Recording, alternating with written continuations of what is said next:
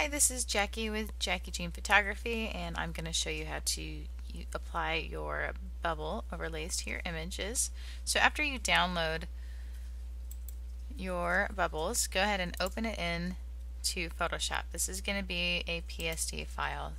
So I've got my bubble overlay open and it doesn't look like there's anything but that's because the bubbles are clear and so you'll have to overlay them first. Now if you look right here, we've got the bubbles folder highlighted and this is in layers. If you want to find layers, just you can click F7 or go to window and layers and have the other image that you're going to add the bubbles to.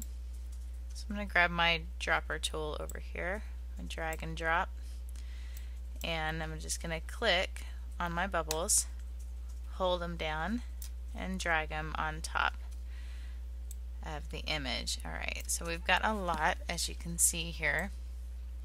If you want to make the bubbles bigger, you can go to Edit Free Transform and hold down the Shift key and you can make the bubbles bigger or smaller.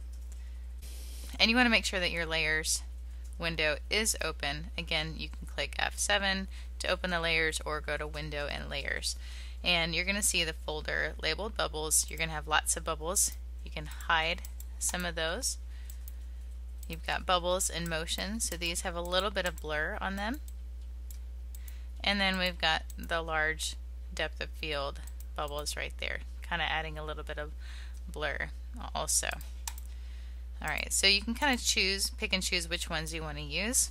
So I'm going to go ahead and just take out the lots of bubbles and we're just going to leave the bubbles in motion and whatever bubbles you don't want you can just erase off and we'll just give them just a few bubbles to look at. Then we can drag it down and we're done.